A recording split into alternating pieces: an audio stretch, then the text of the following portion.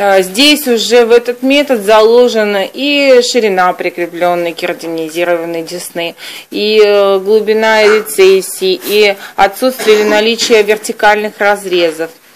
Что отличает этот метод от классического коронального э, лоскута? Это, конечно, то, что таким методом можно устранить более двух рецессий одновременно. И для верхней челюсти у него методика не предусматривает вертикальные разрезы. Э, естественно, что это более благоприятные методы и в целях профилактики осложнений, таких как расхождение швов. Эстетически это выглядит намного лучше. Показания к ротированному лоскуту – это первый и второй класс рецессии по Миллеру. И множественные, естественно, рецессии, потому что данная методика предложена для устранения хирургическим путем именно множественных рецессий. Почему мы не можем э, прооперировать третий класс по Миллеру ротированным лоскутом? Сама методика предусматривает наличие полноценного межзубного сосочка. Как только межзубной сосочек утрачивается, метод невозможно выполнить в полноценном объеме. Есть работы, и сам Зукели показывал, вот в Милане в прошлом году он показывал работы, как он делает, и при третьем классе, в каких-то таких спорных ситуациях и язычные рецессии на нижней челюсти во фронтальном участке. Но это пока такое именно как наработка клинического материала. Это не рекомендации метода к широкому применению. Особенно если в вашей практике еще немного таких работ, я, конечно, советую начинать э, этот метод применять с более прогностичных э, клинических ситуаций. Как мы выбираем однослойная или двухслойная методика. Опять же, никаких э, сложностей, все тоже, поскольку это все-таки корональное смещение, метод выбора будет очень э, похож на тот алгоритм, которым мы руководствуемся при одиночных рецессиях. Опять же, апикально наличие ширины кератинизированной десны 3 и более миллиметра. Если есть, и нету. Если есть, то можно сделать однослойную методику коронально-ротированного смещения. Если нету, то коронарно-ротированное смещение выполняется по двуслойной методике, либо с соединительным тканным десневым детализированным трансплантатом, либо с твердой мозговой оболочкой. Отсутствие ширины кератинизированной десны апикально и латерально – это двухэтап. Двухэтапный метод – это сначала наращивается объем прикрепленной десны свободным десневым трансплантатом, и в последующем уже выполняется корональное смещение. Или коронально ротированное смещение в двуслойной методике со свободным десневым деэпитализированным трансплантатом. Также наличие мышечно-слизистых тяжей, оно диктует э, выбор метода в этом случае – если мышечно-слизистых тяжей нету, да, вот этот минус, что означает, значит, можно выполнять по коронально-ротированному смещению двуслойным методом со свободным десневым трансплантатом, потому что у нас нету кератинизированной десны. Ну, как это второй класс, да, если все рецессии, они второго класса. Или двухэтапным методом сначала восстанавливается объем прикрепленной десны, потом выполняется корональное смещение.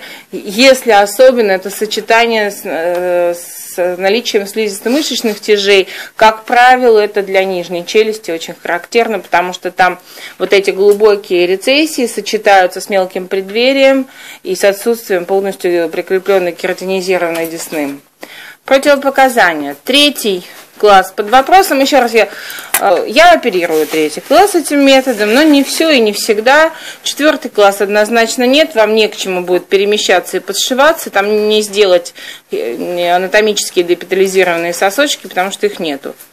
Высокий уровень клинического прикрепления десны, ну, Понятно, что это те же щелевидные дефекты, при которых невозможно выполнить ротацию, поскольку здесь именно за счет ротации лоскута происходит перемещение его коронально. И мелкое преддверие полости рта, опять же, наличие да, слизисто-мышечных тяжей. Дизайн, методика операции, она аналогична корональному смещению. Здесь есть особенности при выполнении дизайна разреза я на них остановлюсь очень подробно и детально. Я хотела бы попросить те, кто, у кого есть вопросы, кто хочет, взять в руки вот такой вот листочек, да, у вас он один на множественной рецессии, вот там, где горизонтально, нет, один, много зубов.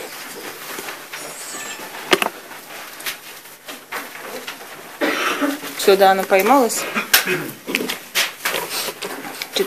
В данном случае, так же как при корональном смещении, глубина рецессии будет равна высоте хирургического начала хирургического сосочка и высоте анатомического сосочка в данном случае.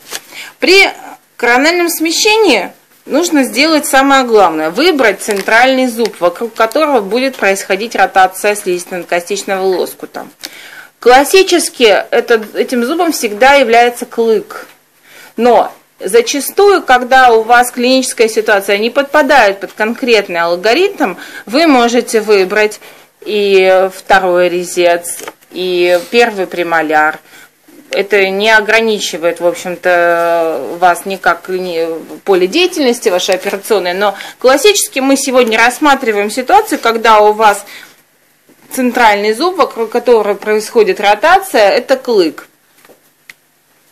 Вы измеряете глубину рецессии в области каждого зуба. В данном случае на муляже, на бумажном, мы оперируем с вами 4 зуба. Это 21, 22, 23, 24. Для того, чтобы не, не выполнять вертикальных разрезов, было предложено Зукели Санктис сделать еще дополнительное отслоение в области плюс зуба от поверхности и площади операции. То есть с каждой стороны мы еще берем по зубу. Измеряется глубина рецессии в области каждого зуба. Определили зуб центральный, номер 23. А как определять центральный? Вы сказали чаще клык, эта методика придумана именно в таком ключе, чтобы был клык посередине. Как правило, э, в 89% по данным распространения рецессий в области клыков рецессии более глубокие и выраженные. Да, не, не будем с этим спорить, э, привычная картина для нас. Поэтому за центральный зуб было принято брать клык. Но если у вас, например, на клыке рецессия глубиной 1 мм, а в области первого премоляра 6, то вашим центральным зубом в данном случае будет э, рецессия на первом премоляре. В данном случае глубина рецессии будет иметь значение, не только ее класс. Класс будет иметь значение для того, чтобы выбрать метод однослойный или двуслойный. Если у вас там нет прикрепленной десны, вы все оперируете двуслойным методом. И, естественно, еще биотип, то, что исходя да, из нашей таблицы, все-таки на биотип мы тоже опираемся. Если биотип тонкий, даже если есть объем прикрепленной десны, не лишнее использовать пластический материал для увеличения объема и толщины десны. Но я немножко опущусь в это попозже, в эту превентивную подготовку, еще мы поговорим об этом. Отложили, теперь вот наш центральный зуб – высоту рецессии, глубину отложили от вершины межзубного сосочка в сторону его основания с двух сторон.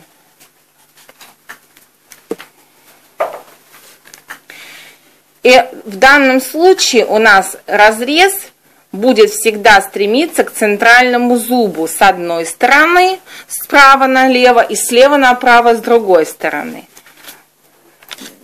Дистальный сосочек последующего зуба. Что это значит? Мы берем с вами 24 зуб, первый премоляр, и на дистальном его сосочке откладываем глубину рецессии на нем, его, не, не рецессию на клыке, а рецессию на в 24 зубе, которая у нас есть.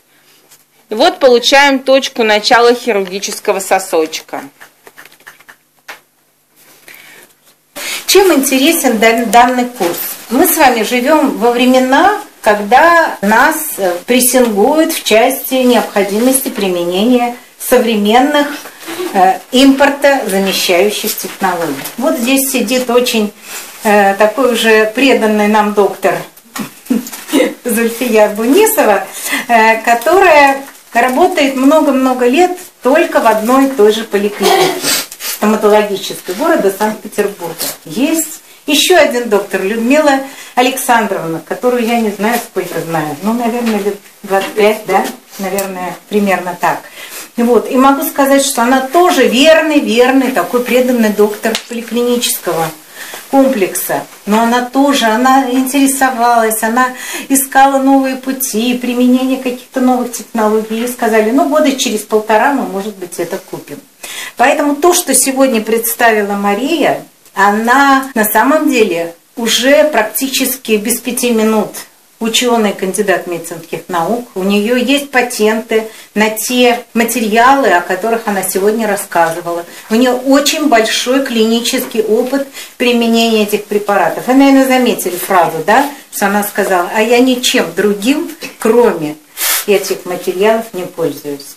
Значит, мы можем доверять всецело тому, что она нам сегодня сказала. И, конечно, это маленькая часть того, что она на самом деле делает в своей практике. Поэтому я желаю вам всяческих успехов. И спасибо вам, что вы так мужественно выдержали сегодняшний марафон. Спасибо Алексею, спасибо Екатерине, спасибо Анастасии, спасибо... Где Даша? Даша? Я так понимаю, что у нее сегодня боевое освещение, да? Ну да. Вот. Но во всяком случае, спасибо всем стоматологам и не стоматологам, э, которые сегодня провели целый день вот здесь вот, э, да еще и в день стоматолога, почти в день стоматолога. Ну, да. да. Поэтому мы вас всех поздравляем еще раз с днем нашей любимой специальности и желаем вам успехов.